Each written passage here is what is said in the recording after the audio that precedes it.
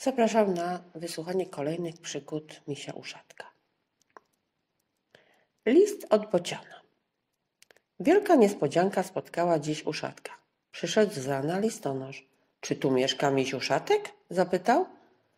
Niedźwiadek właśnie kończył jeść śniadanie. Odwrócił się szybko na krzesełku, łyżeczka wysunęła mu się z łapki i upadła na podłogę. Listonosz powiedział: Podnieś łyżeczkę, misiu, i uśmiechnij się. Przyniosłem dla ciebie bardzo miły liścik z ciepłych krajów od pana Bociana. Wyjął listonosz z torby kolorową pocztówkę i wręczył misiowi. Dziękuję, szepnął miś i natychmiast wybiegł na podwórko. Zajączku, koguciku, kruczku, zawołał. Nadbiegli przyjaciele. Co się stało? Co się stało?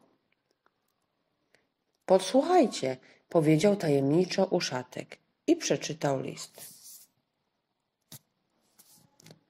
Kochany uszatku, wróbelki napisały do mnie, że mieszkasz na naszym podwórku. Bardzo chciałbym Ciebie poznać. Za kilka dni przylecę do Was z ciepłych krajów. Ładnie tu jest i dobrze mi tu. Tęsknię jednak do swojego gniazda. Wysyłam Ci kolorową fotografię, którą zrobił mi pewien podróżnik. Stoję pod palmą kokosową, a na palmie siedzi małpka. A tam dalej stoi wielbłąd. Pozdrów Jacka, Zosię, Kruczka, Kogucika i Zajączka. Całuję Ciebie, bocian długonogi. Długo przyglądali się przyjaciele fotografii. Miś powiedział. Mówię wam, dostaniemy na pewno od bociana w podarunku orzech kokosowy albo banany. Banany. Miś uszatek wyszedł z rana na przechadzkę. Podbiegł do misia kruczek. Spójrz, powiedział, tam coś leci, czy widzisz? Miś spojrzał we wskazanym kierunku. Tak, widzę, to chyba samoloty, jest ich bardzo dużo. Raz, dwa, trzy, cztery, pięć, liczył kruczek. O, jeden oderwał się od innych i leci wprost na nas. Jest coraz bliżej. Może się zepsuł i spada, przestraszył się uszatek. Za chwilę zatrzepotały nad ścieżką wielkie skrzydła. Uszatek i kruczek zamarli z przerażenia. To długonogi! zawołali z ulgą, gdy bocian wylądował na ścieżce. Długonogi zdjął ciężki plecak i serdecznie przywitał się z misiem i kluczkiem. Oto upominek, powiedział, wręczając im po kilka bananów. A po chwili zapytał. A wiesz może, uszatku, jak się czują żabki? Czy zdrowe? Ale misia już nie było. Biegł z bananami w kierunku domu. Uszatku, straszny z ciebie łakomczuch. Zapomniałeś nawet podziękować. Zawołał za nim długonogi. Śmigus dyngus. Dzisiaj śmigus dyngus przypomniał sobie miś. Zobaczył kruczka śpiącego przed budką i pomyślał, trzeba go ubrać wodą. Pobiegł miś do Jacka i Zosi, stuk puk do drzwi. Jacku, Zosiu, dajcie mi wiaderko, zrobimy kruczkowi śmigus dyngus. Przyniósł Jacek zielone wiaderko i wszyscy pobiegli do studni na podwórku. Pryska woda, chłodna, srebrzysta, a teraz do kruczka. Dzieci biegną przodem, a za nimi miś z wiaderkiem.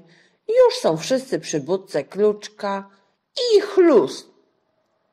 Co to się stało? W wiaderku nie ma wody. Wsadził miś nos do wiaderka, a tam w środku błyska dziurka, jak gwiazdka na ciemnym niebie. Kruczek nawet się nie obudził. Upiekł mu się ten śmigus dyngus. I ja też urosnę. W nocy padał deszcz. Spójrz, uszatku, powiedziała Zosia, jak wszystko wyrosło po deszczu. Rzodkiewka na grządce, trawy i chwasty. Uszatek przyglądał się trawkom, dziwił się i kręcił głową, a potem fikał na trawie koziołki. Nie zauważył, jak nadpłynęła chmura i zakryła słońce. Dopiero gdy lunął rzęsisty deszcz, uszatek zerwał się na równe nogi i chciał biec do domu. Ale pomyślał, pada deszcz, znów wszystko będzie rosnąć, to i ja urosnę po deszczu. Postoję na dworze. Chciałbym być taki jak duży niedźwiedź z lasu. Stanął niedźwiadek na środku trawnika. Rech, rech, rech! usłyszał koło siebie. To zielona żabka, pomyślał, ona też chce urosnąć. Majowy deszcz trwa krótko. Błysnęło słońce, zaświergotały ptaki, zalśniły na liściach srebrne kropelki. Miś stanął na czubkach łapek i zawołał Zosiu, Zosiu, ja urosłem. Rech, rech, rech, zaśmiała się żabka. Jaki ty jesteś śmieszny, misiu. Wcale nie urosłeś, za to strasznie zmokłeś. Haftowane wisienki.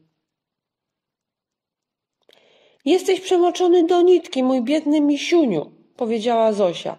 I po co było tak stać na deszczu? Wytarła ręcznikiem niedźwiadka i nałożyła mu czystą, białą koszulkę. Były na niej wyhaftowane wisienki. Miś przejrzał się w lustrze. Jak ja ładnie wyglądam, pomyślał.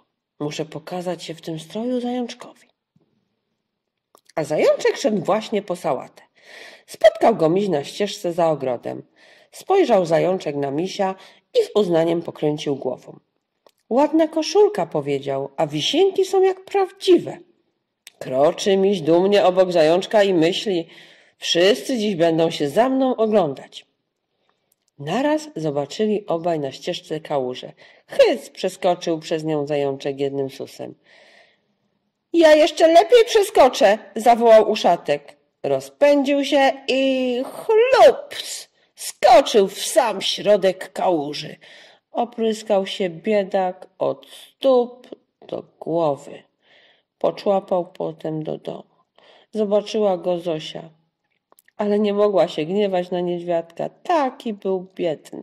Na białej koszulce zamiast wisienek był placek z błota, a w oczach zamiast radości i dumy uszatek miał dwie okrągłe łezki. Oj, misiuniu, misiuniu, westchnęła dziewczynka. Na dalsze przygody zapraszam Was jutro.